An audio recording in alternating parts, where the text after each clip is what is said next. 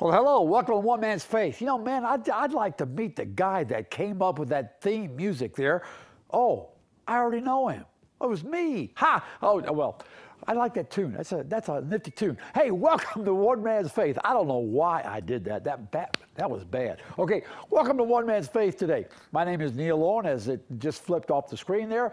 Glad you're with me as we continue to look into God's Word, and we're doing an Old Testament survey sort of, kind of, uh, for as long as we can.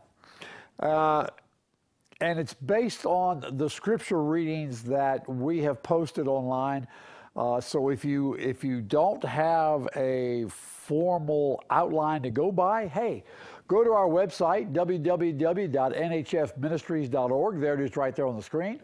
And uh, on the left side, I think the second or third link says Bible reading. You click there, and it'll give you three months of, uh, of reading. Uh, and that's what that's kind of what I'm trying to follow. We don't because of all the material, I don't really get a chance to go through all of it, you know, of the reading that uh, for that week. But I'm trying. I'm trying. So I, you know, we'll continue to do that. I try to bring out some points that are that are there that uh, sometimes maybe you didn't think about, uh, that are of interest. That's kind of what I'm going to do today. I got three kind of major points I want to look at today. Um, in, in our readings from uh, 2 Samuel chapter, I think, thir- 15, chapter 15 over to 24, there are three things there that are really interesting to me. And so I just want to bring them, I want to bring them out to you.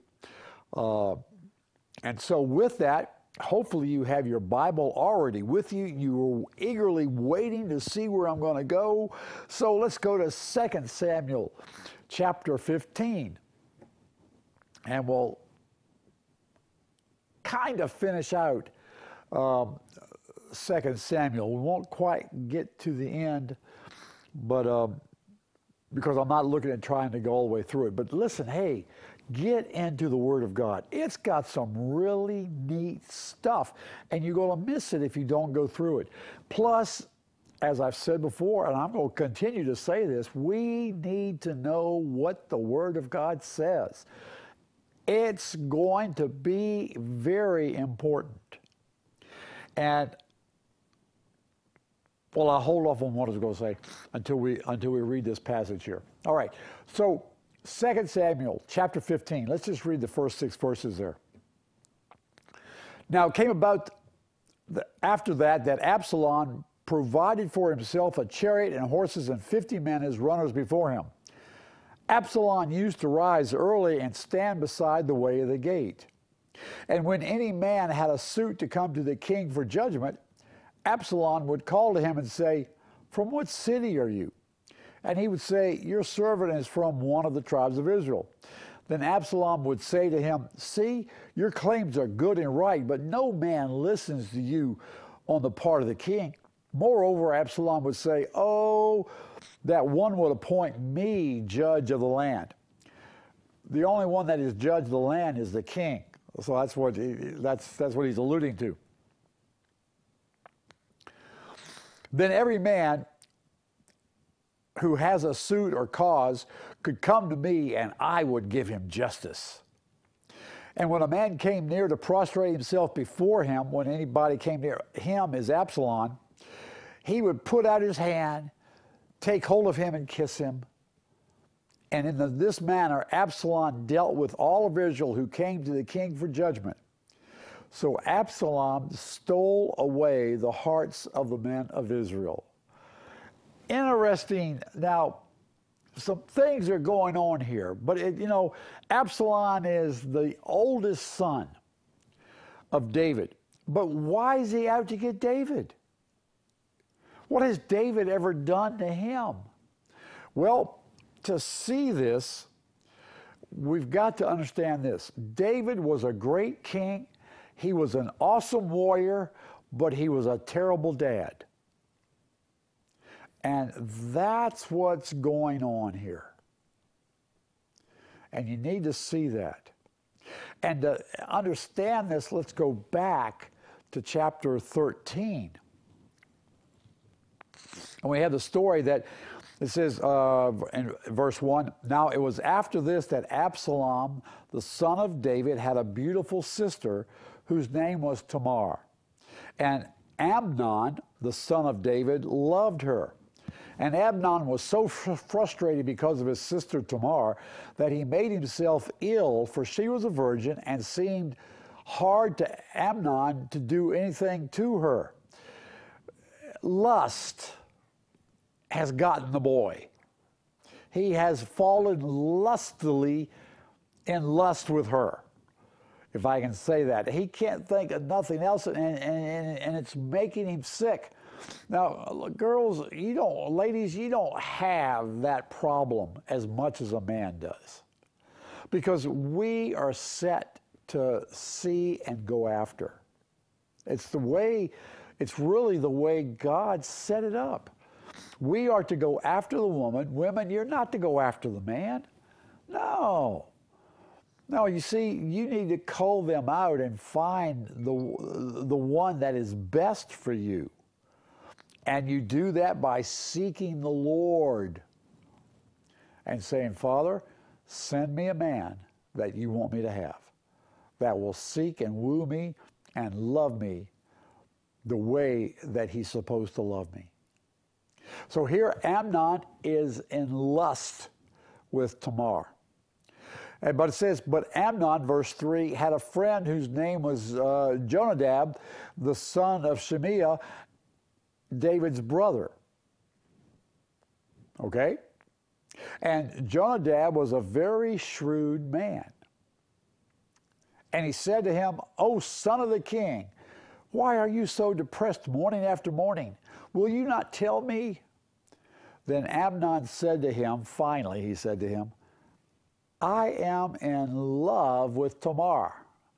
He's using the wrong word because he's not in love, he's in lust the sister of my brother Absalom. And Jonadab said to him, Lie down on your bed and pretend to be ill.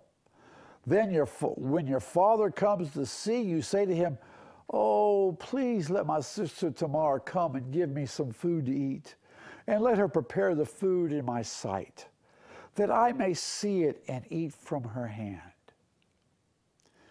So Amnon lay down and pretended to be ill, and when the king came to see Am- see him, Amnon said to the king, Oh, please let my sister Tamar come and make me a couple of cakes in my sight. Then I may eat from her hand. Well, what happens? David agrees. He lets Tamar come and Tamar comes into his room. He takes Tamar and he throws her on the bed, and and he he he starts to be sexually aggressive. And she says to him, "Listen, listen, you don't have to do this.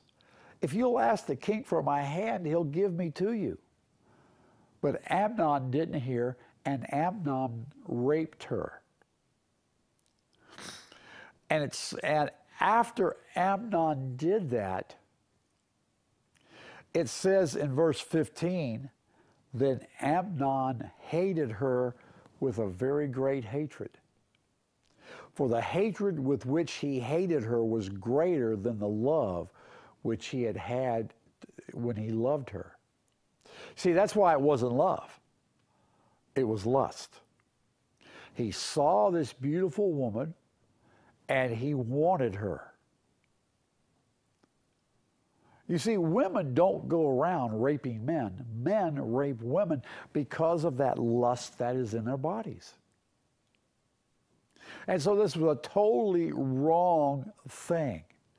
And it says in uh, verse 21 of chapter 13, it says, Now when King David heard of these matters, he was very angry. But Absalom did not speak to Amnon either good or bad, for Absalom hated Amnon because he had violated his sister Tamar.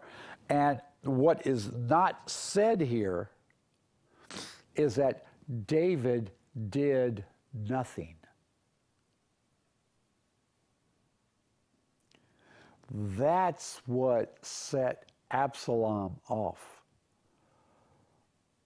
That the father of Tamar did nothing.